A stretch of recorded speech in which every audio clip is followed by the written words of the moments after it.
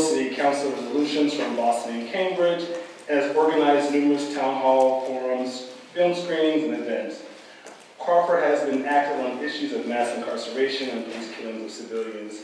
He also led the effort to introduce the issue of police um, decertification to the state of Massachusetts. And last, Crawford is the author of two books, Prophecy, Reflections of, on Life and Love from a Black Perspective, 1996, and Prophecy, Exemption and Redemption from 2008. And our second panelist is Martin Henson. Uh, he's an activist, organizer, and mental health counselor from Little Rock, Arkansas, fellow Southerner. Um, Henson's interests include alternative community structures, dismantling white supremacy, intersectional dialogue, and coalition building. Henson puts his interest to good use as an organizer for Black Lives Matter Boston. He also does the BLM online radio show every Thursday from 7 to 8.30 p.m. streaming, um, streaming live on Insight Radio and YouTube. Martin Henson also represents BLM with the Deep, Deeper Than Water Coalition, an abolitionist coalition working against incarceration and water injustice while demanding the immediate provision of clean, safe water to prisoners. He regularly speaks to various groups about the importance of BLM's presence in the narrative of America's history and current political climate. So those are our speakers, and we, I will turn it over to you all.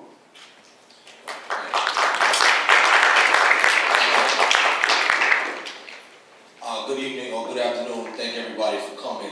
Um, I think that this this topic of uh, blacks in media in Boston is uh, critical, as it is around the country, but Boston in particular. Um, I, will speak a little bit about the history and significance of, of Boston. But um, many of you may know from the film Malcolm X, um, where they say this is where Plymouth Rock landed on us, right? So we about a 45 minute drive from what I would submit is the epicenter of racism, white supremacy, the, the, the foundations of uh, colonialism, genocide in this country. So we are in the original 13 colonies and all that, and what did that, what does that mean? So sometimes too when people are, and, you know, the question has been posed, you know, is Boston racist? You know, the only answer to that should be duh. right? So, um, and so now, now that we've done the whole, you know, Plymouth Rock, you got Plymouth Rock, you got Little Rock, right? And both of these places on different sides of, of, of the country are experiencing much of the same thing because white supremacy is like, uh, you know, it, it, it's like, let's say, the Coca-Cola Corporation. You don't like Coca-Cola? It's okay, we make Sprite. You don't like Sprite? We got Fanta. Oh, you don't like orange Fanta? We got grape. We're gonna get your dollar somehow, right? We're gonna get your dollar somehow. So white supremacy is like that old cookie commercial, bet you buy the chip, right? So wherever you go in this country, whatever you're dealing with, whether it's journalism, whether it's an institution of higher learning, whether it's the corporate world, wherever it is, you're gonna find some racism and some white supremacy, because that's what we're dealing with. So how does that relate to media in Boston? Well, first of all, when we're talking about media, you know, uh, you're looking at one of the people uh, from only one of the two actually black-owned entities uh, that were there. That's the Boston Banner, or the Bay State Banner, and WILD, the radio station, right? In terms of people who actually purchased a thing, a radio station, or made a business that is viable. Sometimes people like to compare me uh, to the Banner, and I think it's a super unfair comparison, right? Because I am not a real newspaper. I'm just a guy, right? I don't have a staff. The Blackstonian itself is not a business. I view it more as a service. It's a, it's a, it's a, it's a program, if you will. It was developed to tell you how it came to be. 2002, I was the uh, Boston chapter chairman of the New Black Panther Party. And the New Black Panther Party, like many revolutionary organizations, had determined that when you are starting a new chapter in a new city or what have you, one of the best means to reach that population is via some form of communication, a newspaper. Uh, and so every chapter, part of what you were supposed to do is start a local newspaper. So here in Boston, I didn't want to call it, you know, the New Black Panther Times, because people up here are scary as hell. So um, I wanted something that would be able to capture the essence of what I was trying to convey and really not scare people. And I'm not talking about white people, I'm talking about our own people, black people, who get scared. You know, uh, the last poets have a very famous poem talking about people are scared of revolution. Uh, so I, I, wanted to be able to capture a, a, a, wide, a wide breadth. So figure, hey, you know, I'm, I'm black, I'm a Bostonian, black Boston, black, black Boston, smush, Blackstonian. And um, there were people in other places uh, that I know. One of my good friends, he's down in Jacksonville. He has established Blacksonville. Um, uh, a, young lady uh, who I know, sister works, uh, lives in uh, Muskegon, uh, Michigan. At one time she was working on Blackskegan. so there are these ways to inject. But now, once again, I'm not a, I'm not a real newspaper, right? I view the media, communications, newspaper, newsprint, websites, all as tools to the ultimate goal, which is the movement of our people for consciousness, awareness, social justice, racial justice, and end to global white supremacy. That's where I'm at with it. I'm part of the movement. And I just use this thing, right, as a tool, like any other. Um, I have no particular allegiance to it. I have no affinity for it. It is a tool. It is useful. So therefore I use it. When it ceases to become useful, I will discard it and find another. because the tree got to get cut. So I have to find an axe. So for me, we, we uh, came up with a term called journal activism. Because I got tired of being uh, told that I had to adhere to some, well, you're a journalist. Whoa, whoa, whoa, whoa, whoa, whoa. No, I'm not. I'm a guy from Humboldt Avenue. Right? I'm not beholden to some sort of, not a doctor. I didn't take a, you know what I mean? Uh, what do you call it? Uh, uh, the, the, M, the Imhotep oath the doctors take. Some of y'all know what I'm talking about. Some of y'all know what I'm talking about. Um, and, and, you know, if you're a lawyer and you take the bar and whatnot, and now you're beholden to the, the you know, um, in journalism, I'm not aware of some sort of, you know, thing. Uh, and certainly being that I'm not a graduate of a school of journalism, I'm not employed by a mainstream journalist entity, I enjoy the freedom of a free black man.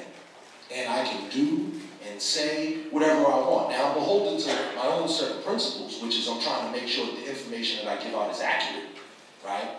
Um, trying to make sure that the stuff is on point and well researched. And then also, too, being open that you are fallible. So that, so that if something you are shown is incorrect, don't be afraid to correct it. And you should be first before somebody else, Jamarhl was wrong, Jamarhl wrong. If it's shown, Jamarhl will report that Jamarhl was wrong, right? Those are the only um, standards that I hold to. Um, a couple of things, uh, Callie, Ms. Callie Crossley uh, spoke about uh, Boston for people from down south being referred to as up south. Malcolm X said, anytime you south of Canada, you're down south, right? Uh, many of us here, we call Boston, Massachusetts, we call it Boss Town, Massachusetts, right? Once again, back to the point, the original 13 colonies, you know, Boston likes to consider itself so academic, so cerebral. But I think that what you'll find here is a lot of the uh, kind of very Neanderthal and caveman type of thought processes as evidence with what you hear up here. You know, don't read the comment section. Don't read the comment section. Because what it does is it settles arguments for me a lot of time. Because the well-meaning uh, white people that I know, they don't believe that this other set of white people exists. Right? And it's important to document. No, no, it's 2018. I, I just got called a chimp today, by the way. I got called a chimp today on the comments from my YouTube video. Uh, a video in which the police forcefully entered my home illegally, and I'm just there, excuse me, sir, can you please leave alone, you know, conducting myself as a normal citizen. And in the comments there, uh, assuming it was a white gentleman, suggested you should have put a bullet behind that chimp's ear. So this is, you know, what we're dealing with here. And that is a form of, the only reason I put it out there is to use that media and that tool of communication to show a larger thing because we're in the struggle right now of trying to push for police reform. So we use this tool to, to, to bolster our claim, to provide evidence, and in so doing, to put that message out there, it's dangerous. You know, um, now luckily for me, I got thick skin. You know, I'm not, him calling me a chimp is nothing, but it's indicative of a mindset that still exists in 2018. And unfortunately, it's not just some lowbrow people. Some of these people, doctors, lawyers, some of them are, you know, uh, academics, uh, professional people, corporate world, so on and so forth. So we need to get out of the, the, the stereotypical thing that, that, these people are like knuckle dragging, you know, uh, few teeth missing, living in, in, some trailer park somewhere. No, no, no. Racism is much more pervasive than that. And, and one of the functions of black media is to uh, combat that. And when issues come forth, to be able to analyze these issues and present information uh, and, and also resources too for, for other people to do uh, their own their own research. Blacks in media to me is about a couple of things, and I'm gonna use that word you don't like, sister, frivolous. Um, but blacks in media is a couple of things. It's those who produce it, meaning all the people who choose to actually produce media, those who consume it, and then us as the subject of it, um, which was spoken about. Now, Miss Sarah Ann Shaw will remember this because there was a time uh, I want to say it was in the, in the 90s. Uh, the media was having a particular field day with the violence in the community, and they began using a bunch of code words and buzzwords that many people are quite familiar with. You know, uh, the jungle, right? Roxbury was the jungle. Ooh, ah! You know, the, the deep, dark jungle. Be careful. And it was, it was written about in a way to really uh, communicate a sense of dread, right? Don't go over there. You've ever seen that thing in the, in the, in the Lion King when he says, you know, all of this is our kingdom, don't go over there. You know, it's one of those type of deals where the Globe and the Herald have both equally painted Boston in, in, in a negative light. Um, to the part of, of, of this meeting that, that, that Ms. Shaw convened to bring uh, the heads of media, was radio, television, and newsprint there uh, at the Crispus Attucks up on Humboldt Avenue. Um, to begin to have this conversation and this dialogue that says you cannot refer to young black men as animals. You cannot refer to a community as a jungle. And there was a bunch of other little code words and all this type of stuff that they threw in, much of it which was done by Mike Barnicle. Uh, and uh, Mike Barnicle at the time, I wrote a piece on it uh, called The Two-Headed Beast of Boston Journalism. Uh, and uh, talking about Mike Barnicle and Patricia Smith. One thing about Mike Barnicle that was not mentioned too, he was very prominent on television as well, uh, on Chronicle. And you know, he was a part of this, um, you know, this good old boy. He was a hometown, a, a, townie, you know, so they like to hear these stories. And, you know, uh, that speaks to two, the tale of two city, uh, parts of, the tale of two Bostons, which is, you know, black Boston and then, you know, white Boston, right, which is some of what this story on, the globe is revealing, the, the two separate Bostons, uh, the tale of two cities. Uh, but also in that, too, let's look at we're a two newspaper town. What's the difference between the Globe and the Herald? The Herald, I would submit, this is my own opinion, my little anecdotal kind of opinion. The Herald is the paper of Archie Bunker, right? And a hard-working, you know, blue-collar guy. Come on, what are we talking about? It's that guy. Now, the Globe is more the paper of Mumsy. Mumsy, summer's on Nantucket, Mumsy. Right? The Kennedys and all that, right? So I think that, and, and all, obviously those are huge, huge generalizations, and, and, both read each other and whatnot. And, and where there is unity in, in, in the two different uh, audiences, there's great unity in the comments. You find that unity in the comment section. That's when you find out how much those two readers are actually alike, right? Um, so I, I think that here in a city like Boston, our job in media is to not only highlight um, some of the good things that are happening and positive things, to also challenge uh, the narrative. And because I am free and clear of the bounds, which I don't have a boss, right, or anything like that, I am able to attack things in a way that other people would not. So my, my, my take on things is a little bit uh, more irreverent. Uh, I get to enjoy the benefits of using, uh, you know, a little bit, I'm a little bit more swaggy, if you will, right? I get to use hip hop and all this type of thing of a, of a, of a new generation. And I'm not a young kid, I'm 47 years old, right? But being a part of the hip hop generation as well and being able to incorporate the other uses of media and understanding social media, Facebook and Twitter and YouTube and blah, blah, blah, blah, blah, and being able to put it all together to once again tell this story that is not a journalism story. It's a story of movement. The movement, I don't call it the struggle. Right? The struggle is something you don't enjoy. The movement, right? And the movement signifies moving, right? So that's where we're at with it. Uh, and the use of, of social media as well. Uh, the problem now is that everybody's an expert. Everybody's an expert. So it diminishes our overall, what should be the first thing. We should get away from personality. We should get away from affiliation. We should be primarily concerned with quality of information. I do not care what you look like. I do not care where you come from. I do not care how you sound. I care if the information that you are presenting is correct or not. Right? And if we stick to that script, we'll be good.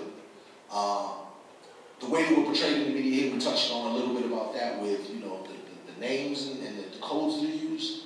Um, even more than that, which was touched on before, is this whole thing of leaders right? So how does the Globe and the Herald as editors get to pick who our leaders are?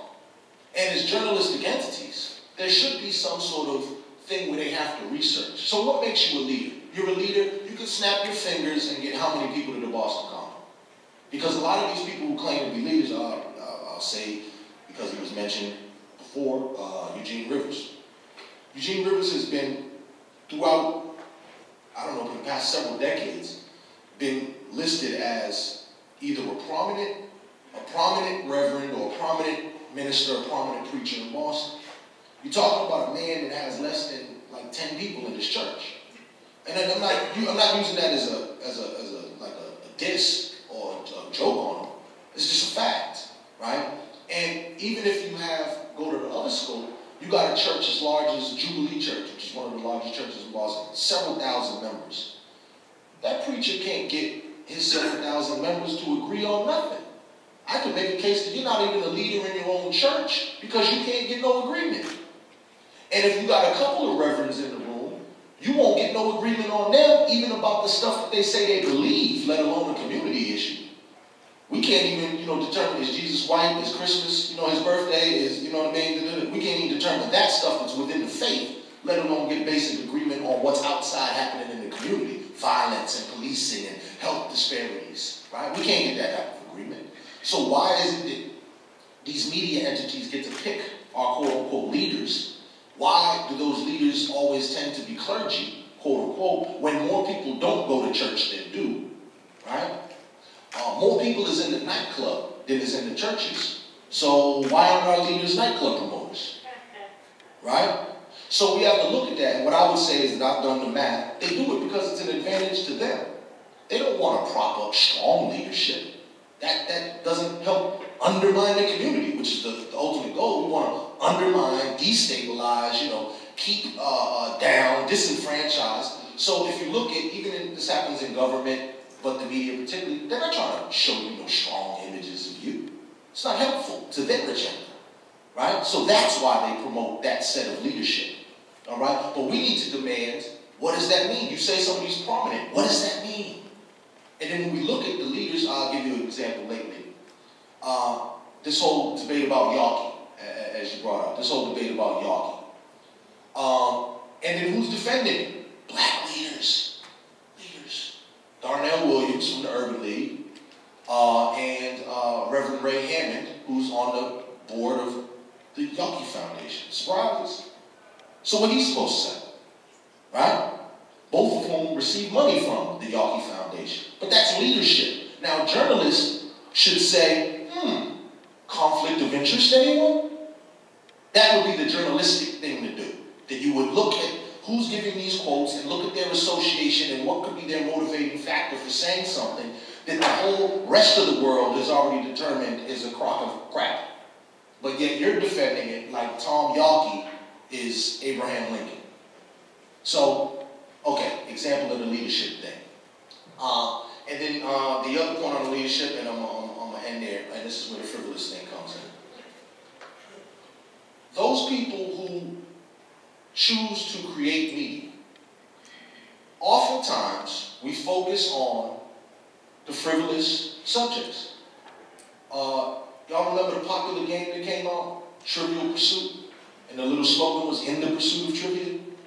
That's what we're dealing with as a society, particularly in our culture. Because now, there are, this is an actual number, y'all, 1.8.2 million websites, I just made that up, websites that are talking about Cardi B's album. Y'all know who Cardi B is? Rapper, you know, whatever. So you have an abundance of websites that are discussing all the latest and greatest in hip hop music right now. You have uh, 100,000 websites that are talking about do you use Indian number five or which, which, which weave do you get?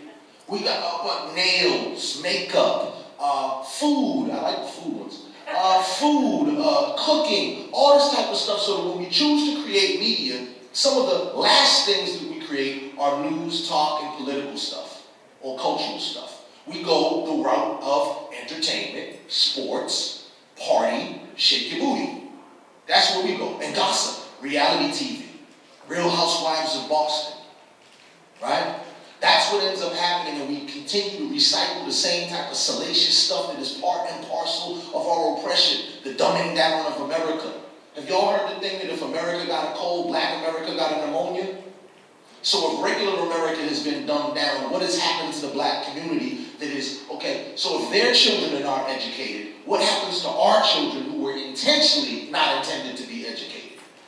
Because if, if Billy Smith is dumb, and there was a plot and a plan to make Tyrone Johnson not informed, we have to look at that. How does that translate into what we're talking about?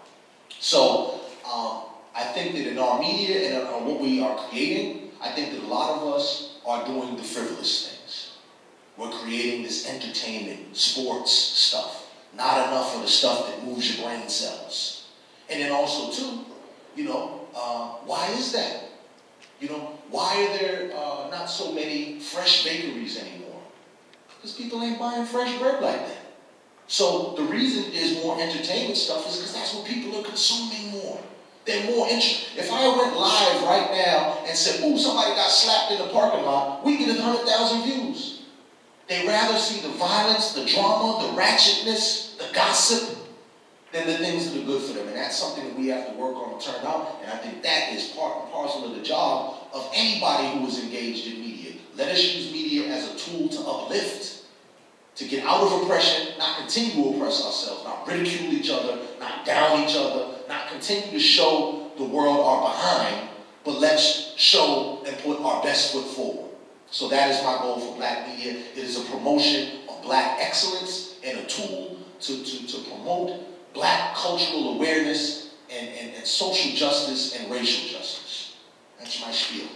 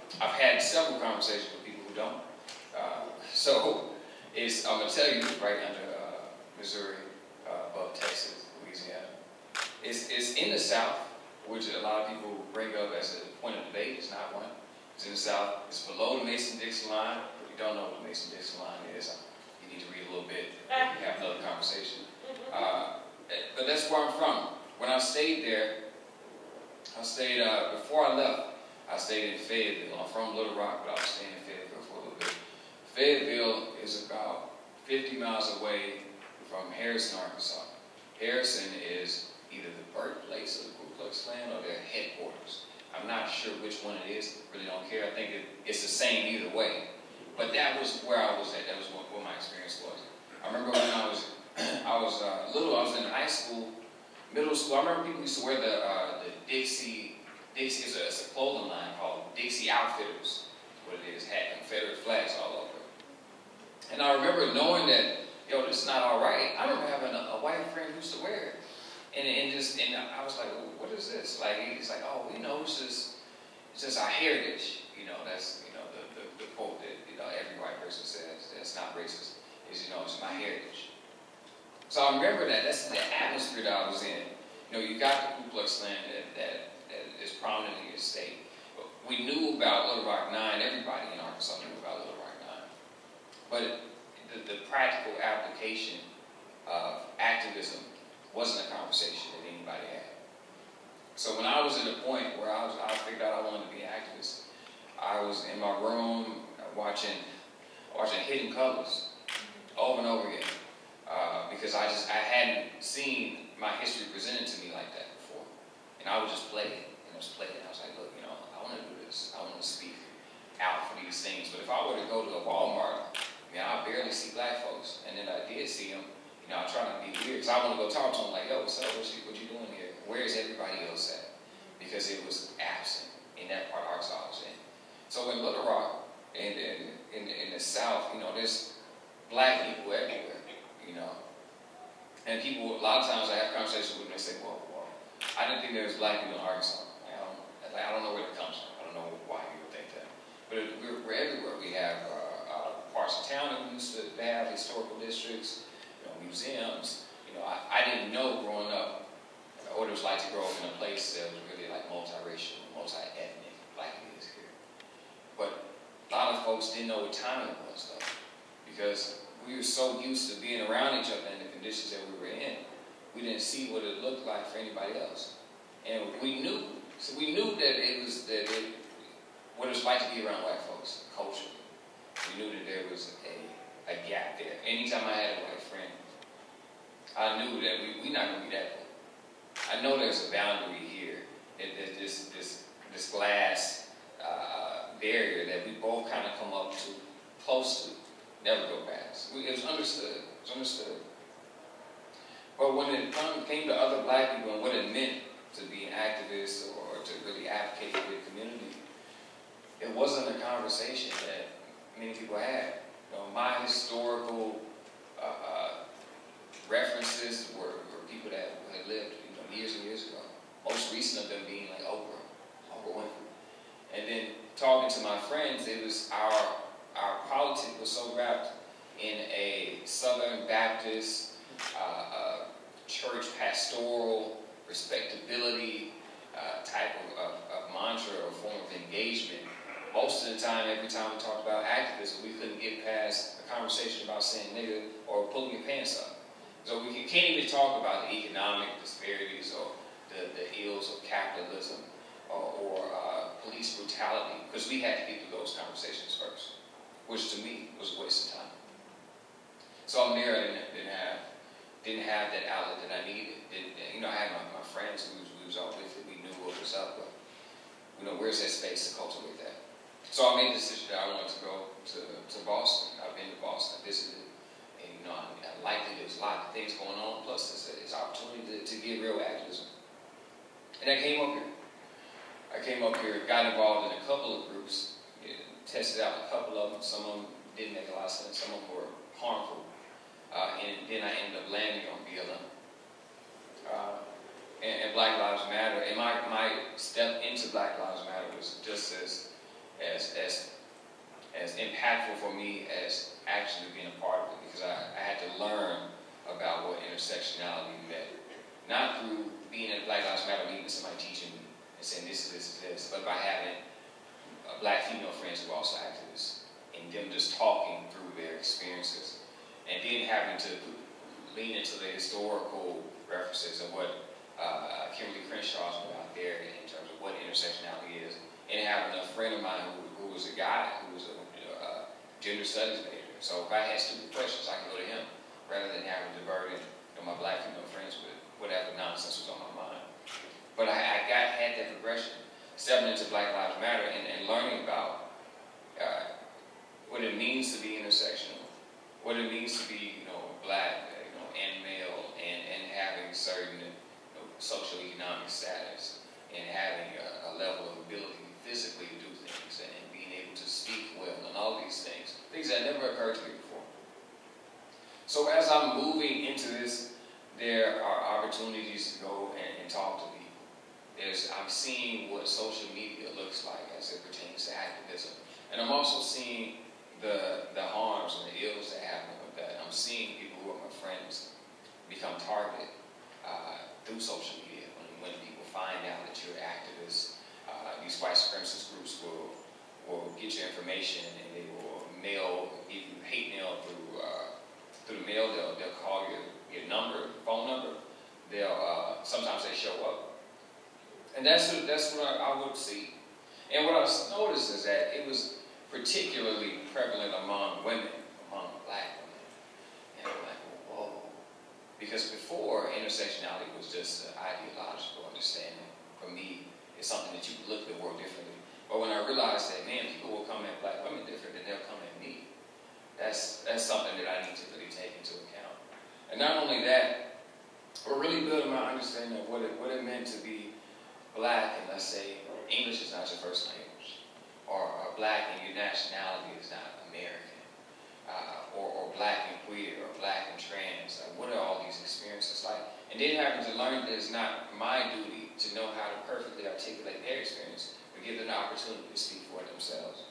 And if there's anything that is my duty, talk about the things that I can discuss from my experience by way of you know my black maleness.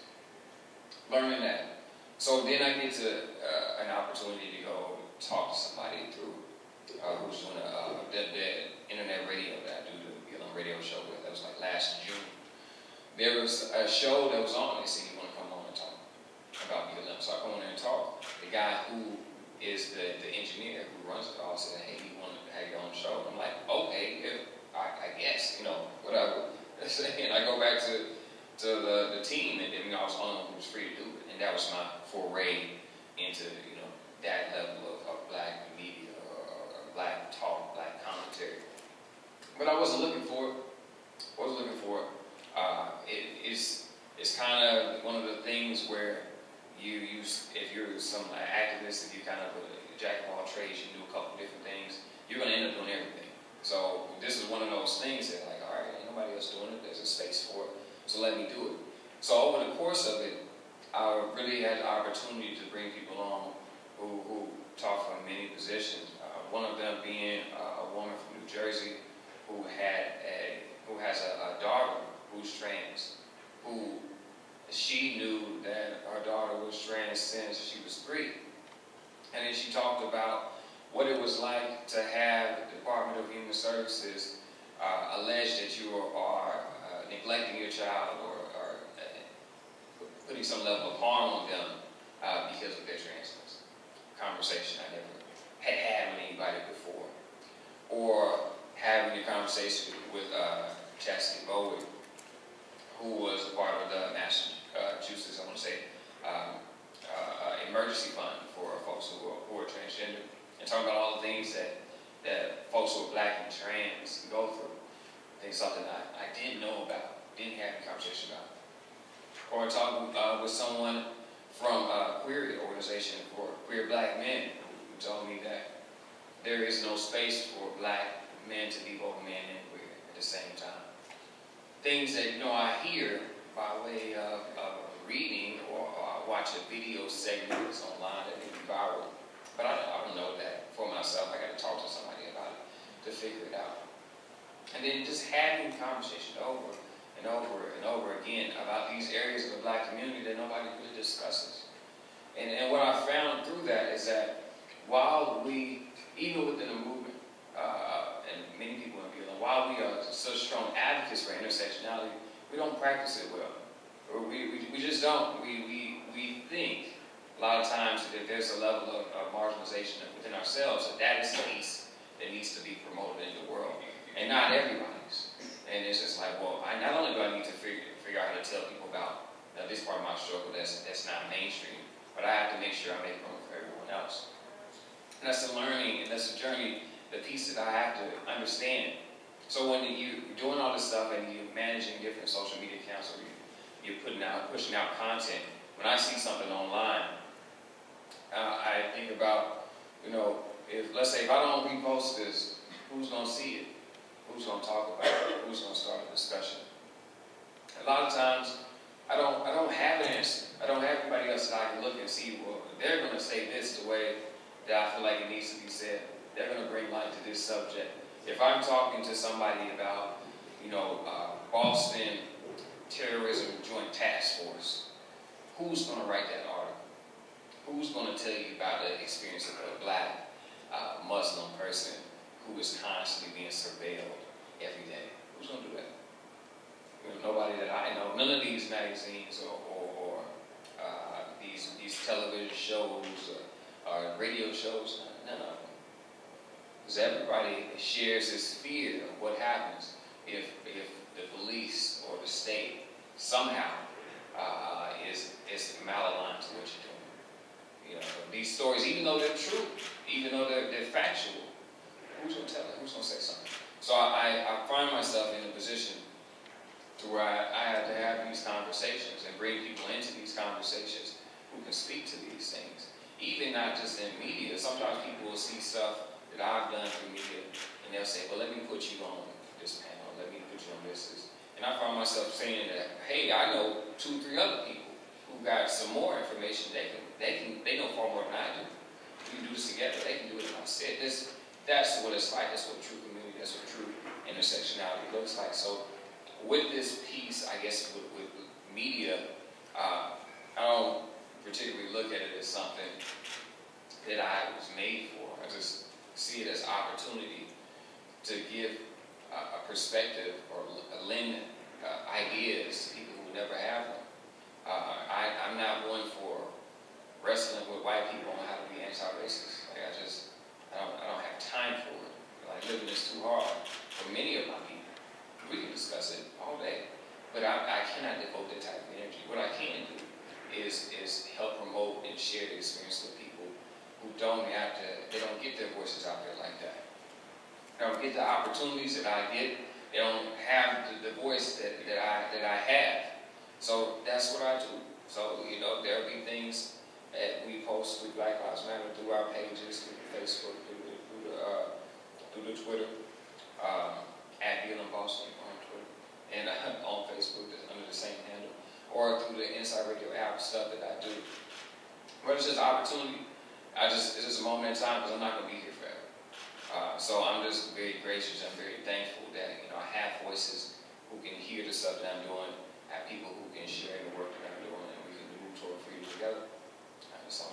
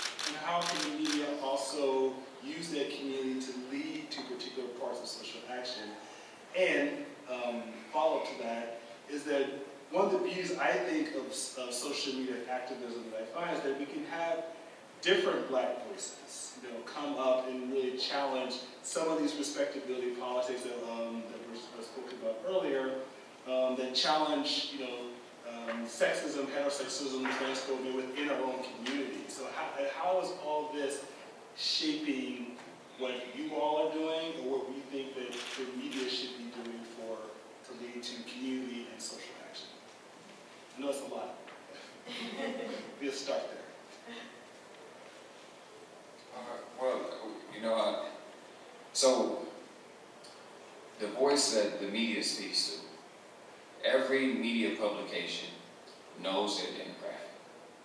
And let's say you talk about the Boston Globe or, or, or one of the other large publications, like they, they're not speaking to me.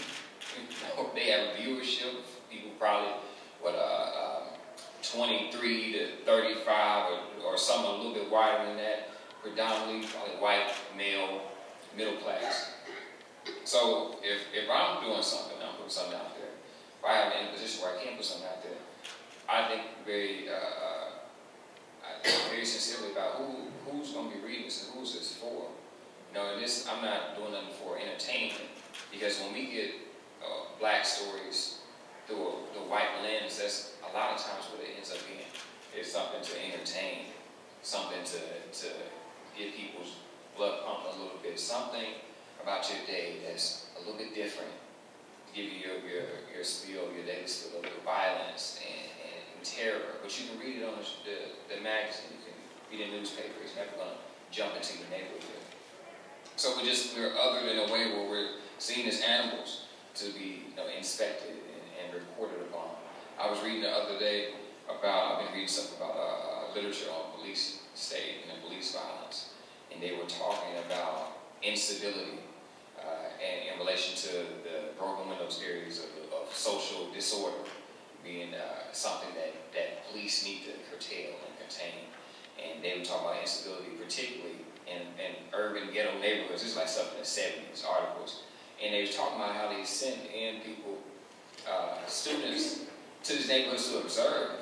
You think this is like the like that woman who worked with gorillas or something like she was like like we're animals. It's just it's just a, a strange thing to me. But that's the perspective that is is ultimately spoken to. That of you know white male middle class. So if I'm ever putting something out, who I'm, my thought is who am I speaking to? For what reason. So if I'm, you know, in a position where I'm retweeting something that's happening in Sacramento right now, uh, with, with Stephon Clark being killed recently by the police.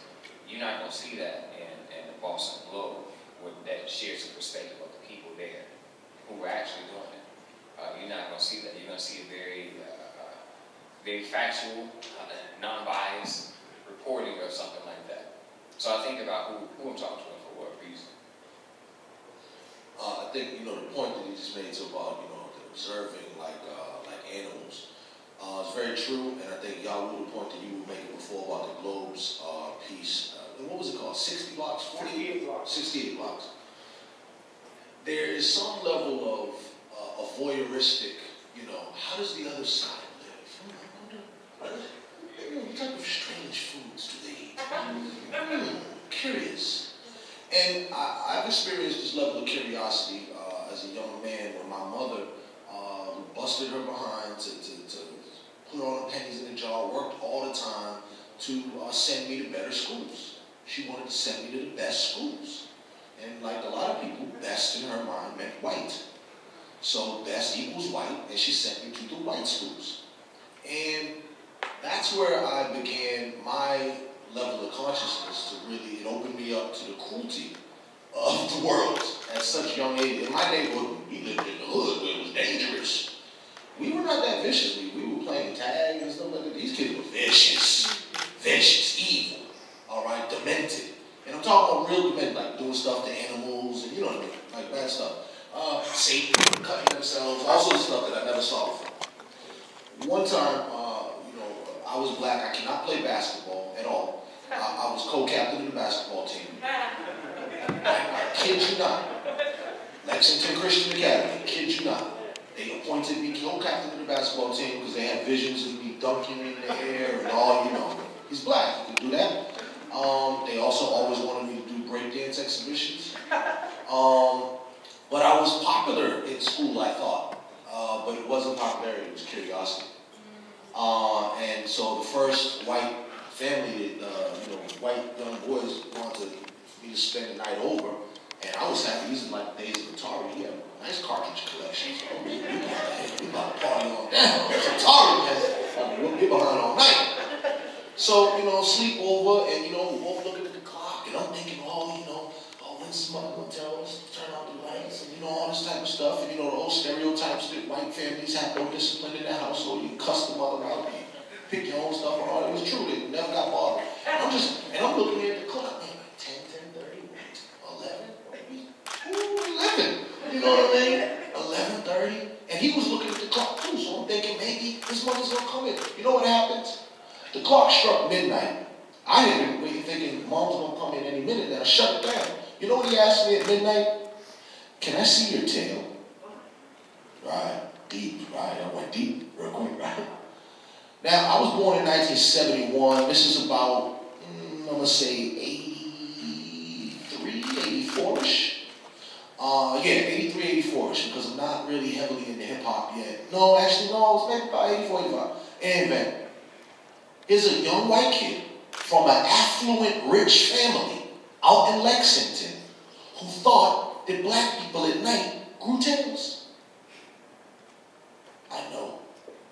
So, needless to say, after I smacked him, and uh, you know had to had to leave uh, the next day.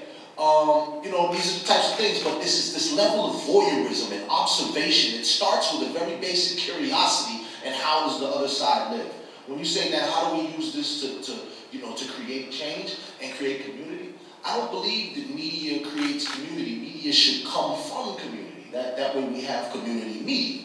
Um, and this is kind of what the problem is with, you know, some of the big papers in the city, because I think um, they, they have attempted to create a community, uh, and we're not in it. You know what I mean? So there's a, a thriving, you know how people say there's nothing to do in Boston? Well, it depends on who you are. Because see, if you're either, Boston is the playground, if you are a young white male, woo! Cake parties! Kenmore Square, Comm Ave, Newbury Street, Let's go. Right? Go Pats. Go Red Sox. It's a great town. It's also a great town if you're an old white man. Right? Now, if you're anything other than those two, mm, not so much. If you're a woman, yeah, I'm a white woman. White women don't get no breaks in this society from this town of media. So if you look now too, you look at all the employment, the diversity and whatnot, they still don't even rock with their own and how people are portrayed, right? Look at the society pages, look at all this type of stuff. What is the treatment? So that the community that they've created is a reflection of that same very patriarchal, very Eurocentric, da, da, da, and that is a very dangerous mindset to come from. You know, that's that's you know that's the mindset of uh, what's their idea of romance? Bonk, dragged you back to the cave, right? What's their idea of you know uh, uh, negotiation? Uh, shock and awe, total domination, right? We didn't get President Trump, you know, like out of a hat. This thing happened. Certain people predicted it, right? That it would happen. So this is the type of media that comes out of that community. The community that we come from is living under that regime. So our media has to be the communications of, you know, the counter rebellion, right? You, you got big, you got a big uh, a country where people are taking over and they're blasting out through the media. Do not listen to the, you know, the intrusion and all that. And you're up in the, in, in the hills with one little radio. Message to the revolution, message to the revolution. Meet us Saturday at seven. That's what we are. That's what we are. And we are being drowned out. We're pirate radio, and they are jamming 94.5. You know what I mean? So we have to figure out creative ways to push our ideals of true community and not this sick model that we have. Yeah, and just to add to that, a lot of folks, I think sometimes it's, it's within the black community, we don't see the urgency to build our own uh, media because we don't see white people or these mainstream industries as being reflective of the community. It's just that's just how things are, you know. And white people never present themselves as a part of you know, unless black people have got too much. And it's like, oh, well, we got to make sure to take care of our own. But it's never a public conversation. So with black folks, when we're trying to figure out how and what to do, if we're not looking or seeing them as acting on their own behalf, there's no sense of urgency. That's just the norm, it's just the standard. It's not white, it's just how everything is. So that's, that's something that I feel like I, have had to, to, to, tackle and to deal with. Because, uh, and, and even within the black community, since a lot of black folks in the see. because I, I don't get to talk to black people, there's this many black people in the room. Let me just say something real, y'all, real quick, that there's a lot of black folks who are fighting to be black and white spaces rather than to be black and black spaces. So when issues happen within black communities, there's not the same level of care because people are working to a level of importance. Like, I want to be black in this space. I'm not worried about that. So when we're working about coming together, like the narratives of people who are, you know, in, in, in the hood or, or, or in places that don't got money, and the narratives of people who went through academia and, and got a little bit come up, come up as you say, uh, it's, it's, sometimes it's different. Sometimes I run into that. And sometimes it's hard when you're trying to build something that's reflective of the community and there's different elements who are ready to, to, to concede when, it's, when, when they've been integrated. You know, so with Black Lives Matter, that's that's a struggle. That's a struggle as it pertains to media. Is that you know we're trying to project these views, and then you got a couple of groups or segments of folks who say that, well, we don't want to project that view. We want something that's more along the line of assimilation. Um, so yeah.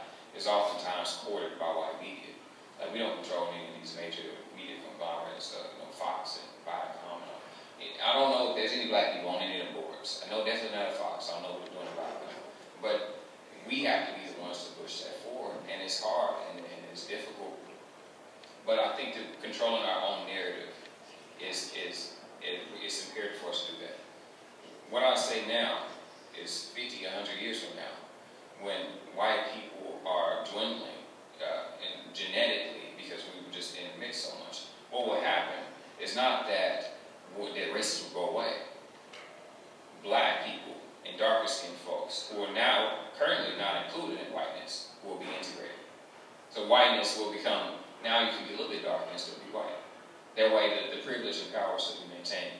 But if we can hold on to and really control the narrative of what it means to be black within all these black communities, because now I feel like I'm seeing more media about people who are like Afro-Brazilian, Afro-Colombian. Now, in, in black people who are Americans are able to say, yeah, those people are black too, because a lot of times before we wouldn't, we wouldn't acknowledge that. And I think that's part of our struggle. And once we get that under control, I think we'll, we'll, we'll move toward a better place. And if I try to speak to that briefly, um, and I don't know if I'm my comment, it fits your question, but it brought this to mind. Uh, so I don't believe in the concept of unity. I believe it's a falsehood. It's a dangerous one. So a lot of people push this concept of unity and black unity and all this type of stuff. Um, every book of wisdom, ancient book of, you know, spirituality or what have you, in the end, the end times, the last days, they all speak of a great separation. They don't speak of a great coming together. And that separation is usually based on, you know, the evil, the wicked, and the righteous. So much like I said in journalism, where I'm concerned about, you know, if what you're saying is correct, it's kind of the same way. I'm concerned with righteousness, right? And so you got to be righteous. Now, uh, there's been situations, activist-wise, in Boston. People like, Jamarhl, you have to link up with so-and-so. Going to say some names because I know, sister, you, you know something. But, you know, Jamarhl, you have to link up with so-and-so. You guys need to unify. And I'm like, well, uh, he's a thief. He steals money from organizations. Uh, we're not, going to unify. He's an abuser of women. We're not going to unify. He's dating a 16 year old girl. We're not going to unify. Sorry. And, and, and that's not unity today. That's not unity tomorrow. And that's not unity in 2035. It's not going to happen. Never. So for me, because I got principles and morals that I'm not willing to concede for this falsehood of this great coming together. Another thing is my journalistic thing makes me want to quantify things. People will say, this is a big problem. Really? How big is it? I need to know. So right here on BC, let's, let's use this as an example.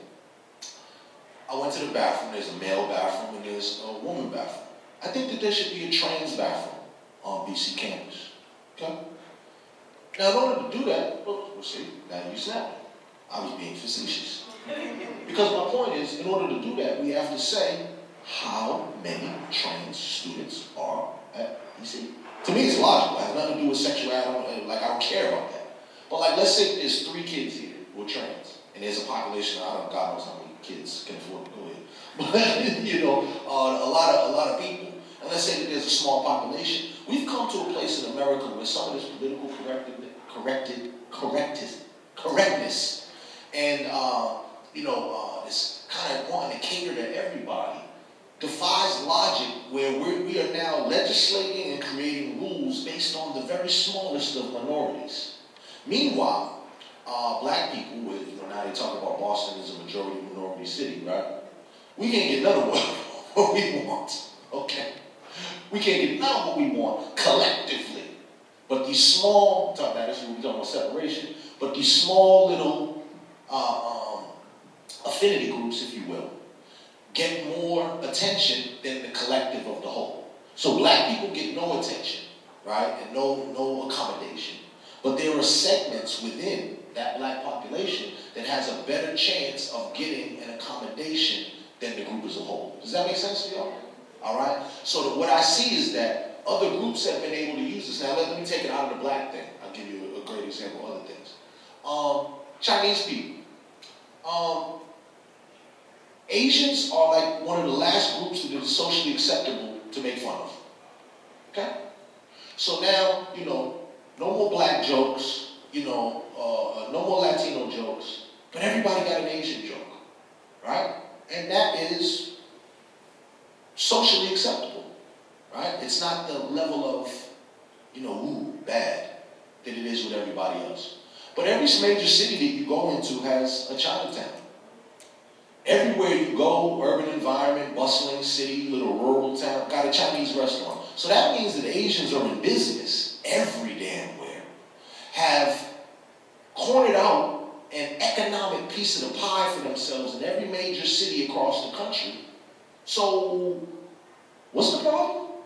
And why are we not looking at that model to join with, to link with? To, see, that's to me where other groups who may be uh, smaller in number, suffer from language barriers, all these types of things, blah, blah, blah, blah, but they seem to get it popping. And yet, black people as collectively as a whole, because our lives are devalued, because black lives don't matter, right? Because our lives are valued, that means 100,000 of us saying, no, the same thing, we need water. 100,000 people saying that, saying, we need water. They count, counted like three-fifths of how many do. So that wasn't 100,000 people, that was 10 or whatever. You see? So our voice, even though collective is, is big, it's diminished. And some of the little affinity groups out of there get more traction than the group as a whole, in my opinion. So I want to um, talk about how you deal with the notion of credibility. So even when you said, I to focus a little bit on the notion of credibility. So even when, like Javon said, you state the facts in your pieces, do you still receive fake news pushback? And how do you deal with that pushback? And how has it affected your ability to share your news to wider audiences? Um, generally, no, I don't get that. Um, my reputation kind of precedes me in that regard, so generally, I'm pretty well, you know, respected or known to kind of be on point. And people kind of leave me alone. They don't, they don't generally want to uh, debate all, or these points. And generally, when I put it out, usually the resource and the source material is there. Click on this link. And I tell people often, do not believe me. Go look for yourself. Here's the link. Go, go see if I'm telling a lie. All right? So uh, that's how I do it. My mother says, oh, you just love to be right. Yeah. Is that a bad thing? I think that's a good thing. Yeah, we strive to be, I'm not perfect, but I'm sure striving for it. You know what I mean? Um, I want to be as right as possible. I hate being wrong. So that's what I strive to do. In terms of getting the message out, we have a little engine that could, from my little bedroom in, in Roxbury, my little laptop, you know what I mean? My little sweatpants, whatever, 3 o'clock in the morning, tip, tip, tip, tip, tip. For whatever reason, it, you know, it's gone on to the New York Times and CNN, gone around the world, print, television, or what have you. So it's resonating with somebody. One of my problems is oftentimes it resonates more with those outside of the group that I'm, I'm creating it. I want to impress black people. I want to impress people in my community. Like, yo, that's the joint. I'm rocking with that. But oftentimes I get more credibility from, well, perfect example. Today I got invited to BC College. Do you know where I've never lectured at before? Roxbury Community College. And I'm an alumni. And it's right down the street. But for whatever reason, black people don't necessarily value it in the same manner as being recognized at Harvard, MIT, all these, all this type of stuff. So sometimes credibility is uh, I get it from outside and not necessarily from the community that I really would like it from. All right, so we we're actually over time. I want to, yeah. So, oh, you yeah. If there are more questions. Oh, more questions. But we got started late, so. Okay. Sorry.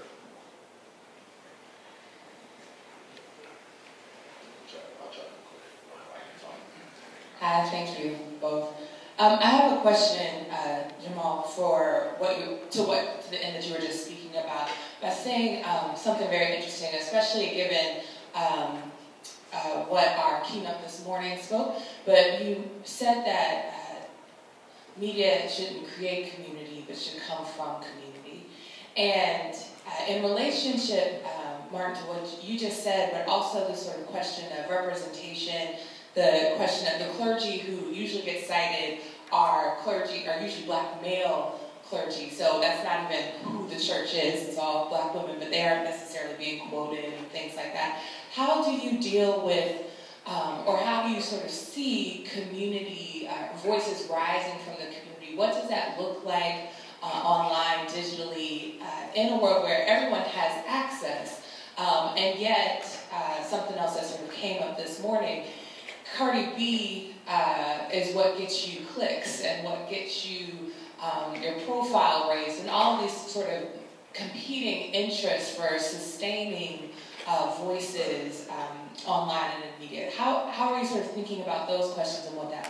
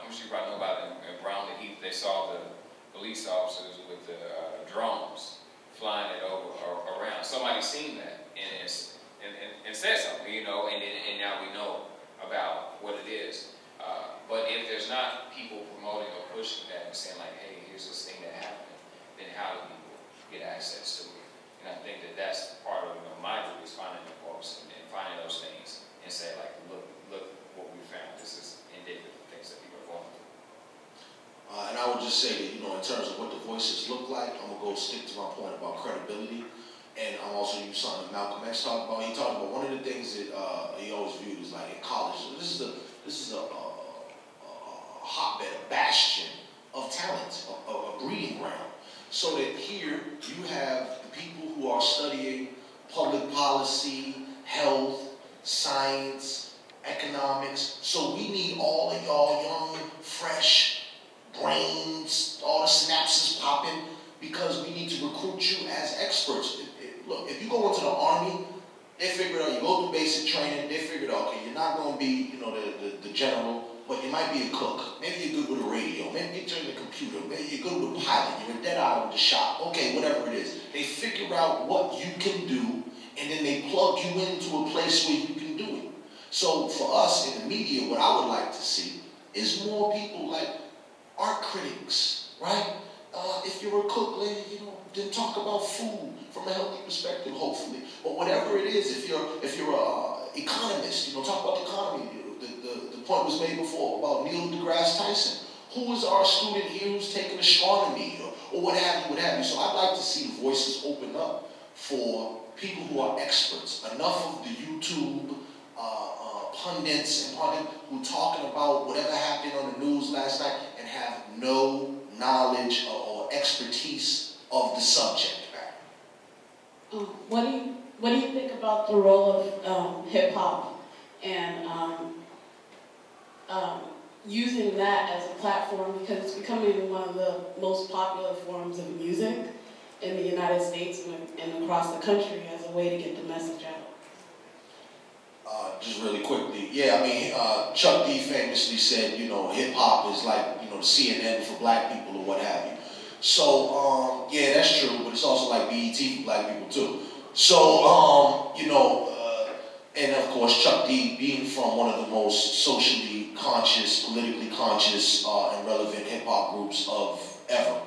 So, um, a little bit of an unfair thing because the majority of hip hop is not delivering news. The majority of hip hop is delivering craziness and crap, misogyny, uh, pushing drug sales, usage, violence, you name it. Um, so, so hip hop can be used, but I think that it is those people like the Public Enemies, the Dead Prez's, some of what the Kendrick Lamar's, you know, some, and, and some of these people aren't even conscious. So, so for instance, back in the day, every rapper, every album, you, you have all this stuff, but then you got the one love song, right? So I don't care if it's Cardi B. If Cardi B is whatever, then she got one conscious song. I don't care. I'd like to hear what her little brain can come up with about her, her little experiences, because I know she's had some. Every woman has had, I know, for instance, I know some man has done a real wrong, so she could certainly do a song about maybe sexual assault or something like that. You see what I mean? So, so something, right, to, to give us something of some substance. That's what I would like to see uh, hip hop used as, once again, another tool to advance this movement. Hip hop, journalism, whatever y'all get, ice skating, whatever you got, let's use it as a tool for this movement. I have a question for you, Jamarhl. Um, I'm sorry. It's okay. What should be done to make sure that people in the community understand, see and understand why it's important that they become involved in standing up for things that will change, change the lives of people in the community. I mean, you know, as go, go through Dudley Station, you don't see people you know, by, by and large you know, with a newspaper, not even, not even a you know. You don't see them like they should. What can, what can we who are concerned about getting people involved and getting people to step forward and do some work, what can we do? Uh, I think the answer varies depending on where, where you are and, and what you have access to. So I guess one example of that is, uh, when we work with community, a lot of times we don't consider people who are incarcerated. So part of, uh, BLM's, uh, one campaign that we're working on is Deeper Than Water campaign. And it's about the, the water in the Norfolk prison being poisonous. That is led in, in, in, in part, or mostly, by folks who are incarcerated. They, they are people who took up the charge. What we did on our side was uplift those voices and, and join into that. Uh, because they are the people who are most likely to go through those conditions. So if we're looking uh, at what people should do, I think people have to, we have to listen to people within the community who are already talking about it. It's just like when people talk about Stop the Violence campaign. They talk about it as if black people don't do anything to stop the violence. So, but there are people who are constantly working all the time, lots of times, often in churches. So when those voices are, are happening, I think it's our duty, if we're not experiencing that particular hardship, to uplift it and then do the same, uh, vice versa. Something happens with us, we can the same out, out of within our community. Let me give you the quick example. Recently, the state decided that, you know, visitors for people in prison should be severely curtailed. You know, before you could go, you could sign your name, you could go visit if you knew someone. That's changed. What should something, as an example, what should people in the community try to make sure that the people who are, who are incarcerated are not being unfairly and unjustly separated from uh, some sort of in, interaction with their family, you know? And it should, it should be uh, presented as a public safety issue because you put these folks through further isolation and then they return to society, if they return to society. Uh, they return to society without human contact, without uh, really knowing how to interact with people properly, and they, they, they're, they're, they're, you know, it's a form of torture. Isolation is a form of torture. You know, if you put somebody in a room by themselves, there are very many negative mental effects to that. Um, and separating from their family, da da da. Uh, the thing that I know from, from the Department of Corrections they always talk about, oh, well, the, visit, the visitors bring drugs. Um, no, how about 90% of the drugs in jail come from your guards? How about that? That you should, you should put your guards behind plexiglass. That's what you should do, right? So I, I think that there are some unfair assumptions. It's an extra punitive measure to take uh, the families away from these prisoners, further destabilize the community, and, and, and so on and so forth. What can we do, as you noted? People are not walking around in newspapers anymore. Da, da, da. What can we do? Everybody has to be recruited and deputized. And when we're talking about the falsehood of black unity, uh, we need to get as many to join in as we can. Wouldn't it be nice, like the, the Bay State Banner has these boxes, right? Let's say, let's say, okay, let's use that concept. But let's say if every place that we know where we're at is like a banner box. It's a center of information. So that means that every school that's predominantly black, which is most of them, is a center of information. And what schools used to have newspapers, that's out. They don't teach kids civics anymore, that's out, right? Um, what if every church was used as a distribution center for information? For voting, for all of this type of stuff, so that, and even if the school says we're not going to teach civics in there, then like the Black Panthers used to do, let's begin political education classes some, see, this is the type of stuff that we could do, and back in the day was done. But see, some of these clergy, our, our leaders, um, they ain't opening up their doors for that. They ain't opening up their doors for that. And you know why? Because it don't make sense. Because it don't make dollars. So it don't make sense. There's no grant for that. Right? So we have to figure out a way to recruit everybody, deputize everybody, get everybody on board with this train of spreading the information. Uh, you know, they, they've called it, you know, the drum, right? Uh, uh, back in those uh, black and white movies, you hear this in the background. Right? Like, make it stop, make it stop, right? That drum, our, our, our sense of communication, Marvin Gaye talks about, I heard it through the grapevine. We need to revive that type of inter community uh, communication and news network. So my question is, how do we align economically with people who may not be welcoming to us? Because I know with the hair industry, um, which is predominantly owned by the Korean community, there's a code not to sell or allow black people to own percentage in that industry, which is a, a multi, possibly a multi, a billion dollar industry. So how do we, I understand that we have Chinatowns in numerous cities throughout the US and so forth, and possibly in other parts of the world, but how do we as black people, being the biggest consumers in the world, how do we align with other groups that may not be welcoming to us because money is power, and when you have power, you have a voice. A lot of people don't want us to have a voice. Um, so I'll just say real quick, you know, I don't know where you get the information from, that there's a code where Koreans do not want to do business with black people. I've heard similar things, but once again, that journalistic thing kicks in.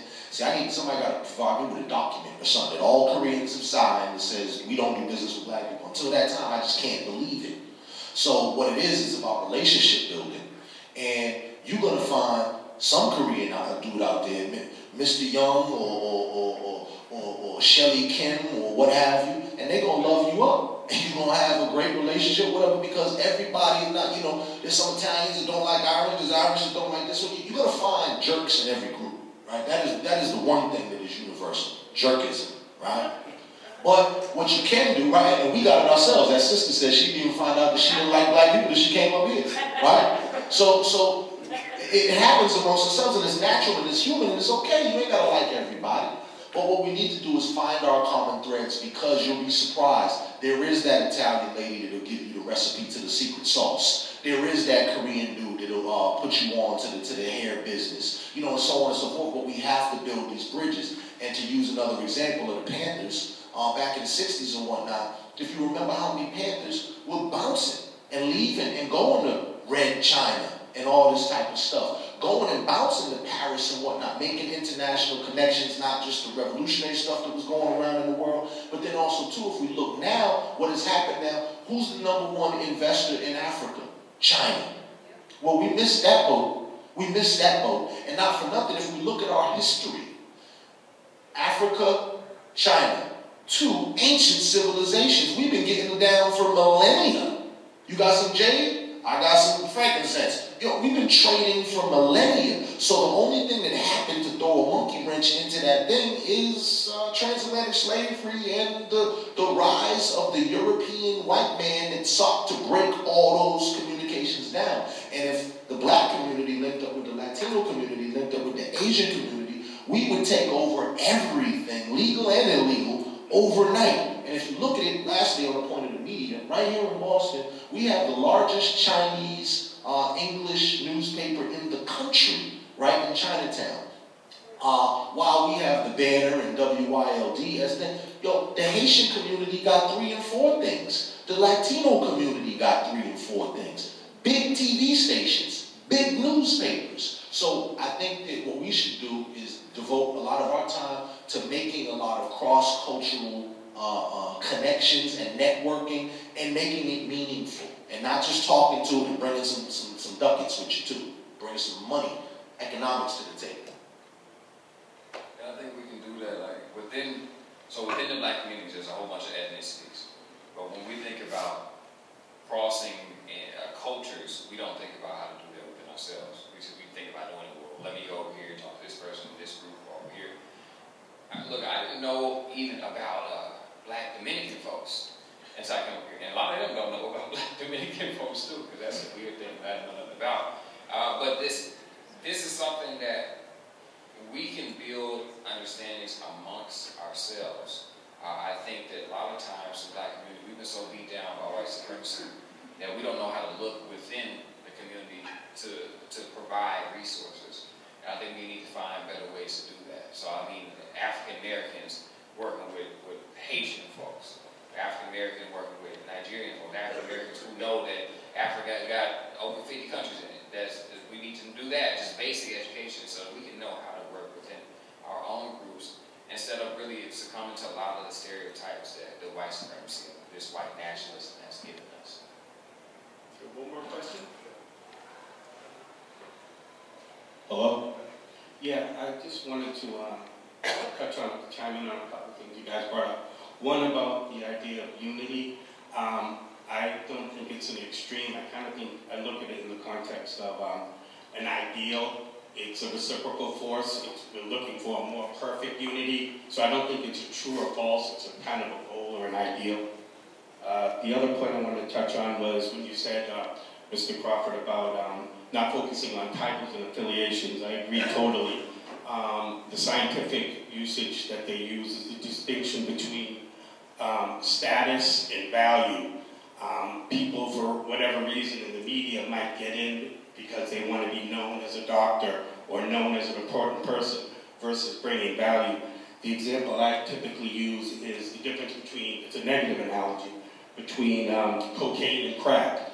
Cocaine was the high-grade, um, popular drug use amongst um, affluent people, but crack was cheaper and a more potent product, and it had a more transformative process. So the media focuses more on, specifically the black media, focuses more on value as opposed to status. They might have a more of a transformative effect. The other uh, thing I want to touch on was um, you were talking about um, in this era we live in where um, sound bites and Kim Kardashian's bra size or Cardi B is more important. It's the age-old idea of beauty versus goodness. The masses will always choose beauty, sensual pleasure over goodness. That's why fart noises and fist fights go viral and not fine art. So you have to find your way through that. And then the other thing uh, Mr. Crawford brought up was the idea that he's trying to produce a product, something very beautiful and admirable, that his community doesn't necessarily embrace. And I use the example of Tupac Shakur, arguably the greatest rapper of all time in terms of body and lyric. But who was the person that discovered Tupac Shakur? Wasn't a black person, was a liberal Jewish lady. So that, and, and then it brings you kind of wrap it up with this idea of um, the talented tenth, you, you have to accept to some degree that if you're in that kind of small remnant, 5, 10, 15% that's enlightened or awakened, it's a um, kind of a bittersweet, you didn't want to use the struggle or movement, and that's what you have to kind of be cognizant of. I'm dealing with it now as an emerging writer. All the kind of resistance I'm getting, I wanted to stand up and scream hallelujah when you mentioned Reverend Rivers. I was like, oh my goodness, this is you know, I've never seen a bigger farce in my life. I thought, when I presented myself to him, I thought he was a pillar of the community, and I was just, so uh, that's just all I wanted to share. Uh, I do want to want to say that uh, the, the, media, you got to be careful with these big media conglomerates. For one, Boston is a, a major metropolitan city, a mecca of sorts for a lot of things. When BLM first uh, got rolling, you know, the, the Globe and the, and the, and the um, the the, the, the, the Herald, they would come through the email almost all the time, wanting a quote, you know, and then after a while, uh, when I started to see more of it in medium position where I could, could deal with that, you know, we're, we're entertainment. They don't, don't care about what we say. They know we're going to make the, their paper sell. And so whenever something real comes up, like, you know, Deeper Than Water, talking about Norfolk prison issue, you know, they're nowhere to be found. Nowhere. So when the media, uh, they will anoint you, pick you up and throw you down. All in the same swipe because that's entertainment white people. And I think that that's something that I really, I saw, you know, you, you prepare you read about it, all the things that to pro and all, all the things they do to the black community, but you, when you see it, ah, man, I don't, you know, I, I, I was like, man, this is this is real. like, you know, it's, it's scary. Like, I don't, I don't know for you, Jamarhl, like, when you, when did you, like, see media, how they move, and how they'll, they'll, like, manipulate and take things? Uh, when I got called a demagogue and an outsider by Reverend Eugene Rivers in the Boston Globe, um, uh, and he called me a demagogue and an outsider. Uh, he was on the corner of Crawford and Humboldt. I could have been on my front porch and hit him in the head with a rock because I live on the next street over on Ruthven where I'm being called an outsider.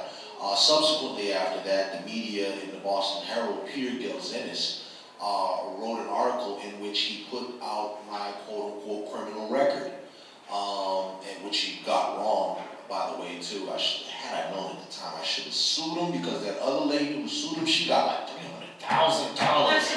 Oh my God, one of my great foibles. And funny story, because I didn't know about suing people in the, I literally found out, like, I figured with the statute of limitations, it takes like three years, I literally found out one month after the, I was like, my, this is just the story of my life.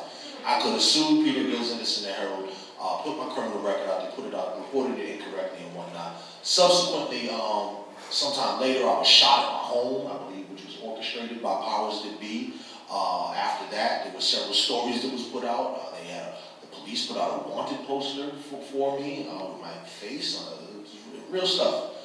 So, um, so that's when I realized what I consider to be the trifecta between uh, powers that be in terms of government, electeds, and so on and so forth, the police and the media in this town, how they all uh, uh, work together.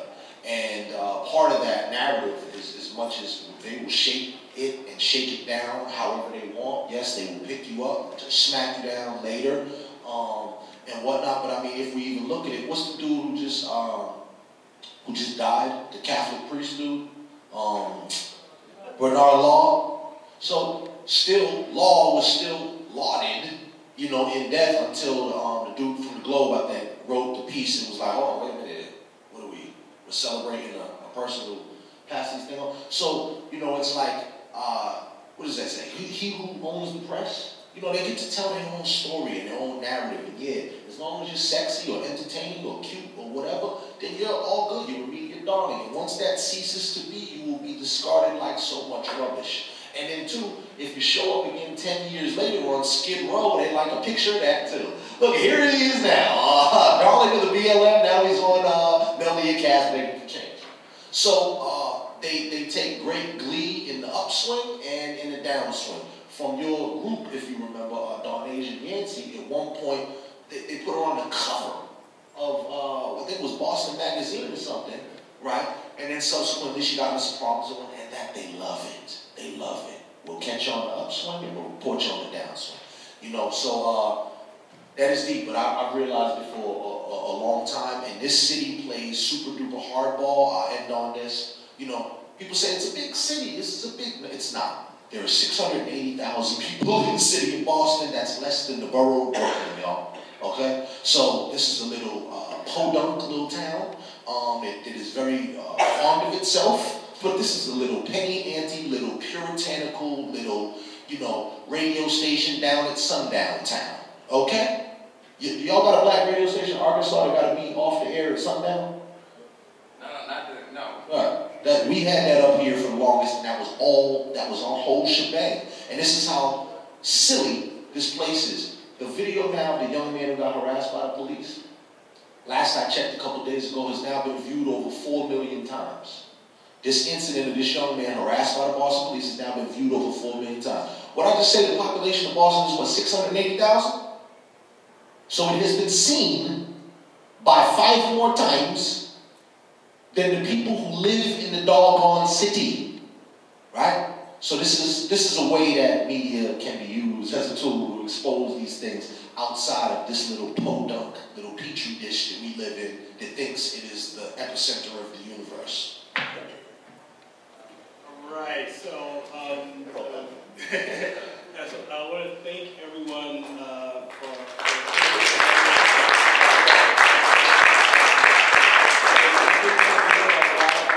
the importance of community, relationship building, and thinking about how the media can um, can definitely facilitate some of this. And I, I would have to say something is weighing on my soul, and I should have said something earlier, but say it now. I feel like trans women just got kind of thrown on the bus with the comment. Trans people about the bathroom, because I feel like one of the things that Kimberly Foster talked about, the, the media should be seen as a community, and if we're not making a space for trans, particularly trans people of color, to be a part of that community, which means having safe spaces for bathrooms, they are a vital part of that community that can lead us to justice. If you think like Audre Lorde say, if we protect the most marginalized, we're going to end up protecting everyone.